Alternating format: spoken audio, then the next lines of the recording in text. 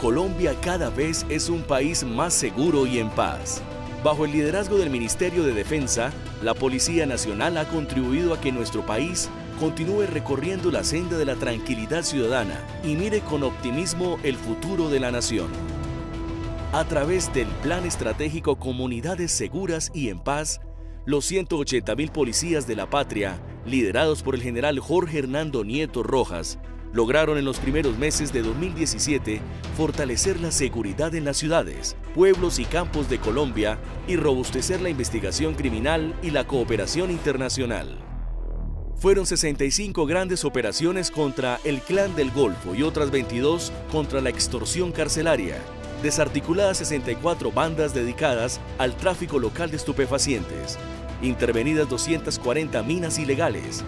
atendidos 2.037 incidentes cibernéticos y aprendidas mercancías de contrabando por casi 100 mil millones de pesos.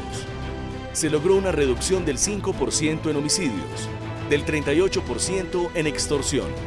del 14% en lesiones personales y del 12% en hurto a vehículos, las cifras más bajas de las últimas décadas. La entrada en vigencia del nuevo Código Nacional de Policía y Convivencia contribuyó a disminuir en un 26% las riñas y lesiones personales, llevando tranquilidad a nuestras calles y barrios. A 94 municipios arribaron los carabineros, en desarrollo del Sistema Integrado de Seguridad Rural,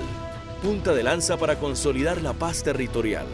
Incluso se llegó hasta sitios donde hacía décadas no había presencia institucional, como Medellín del Ariari, Bilbao y Río Blanco. Se lanzó la política integral de transparencia policial y se puso en marcha el sistema de gestión de la seguridad y la salud en el trabajo, que convirtió a la Policía Nacional en pionera en esta materia en América Latina y en el campo internacional se fortaleció el intercambio de información con 13 países y 86 agencias y cuerpos de policía. Así quedaron sentadas las bases para avanzar en el proceso de modernización y transformación de la Policía Nacional, institución que a diario trabaja por una Colombia segura y en paz.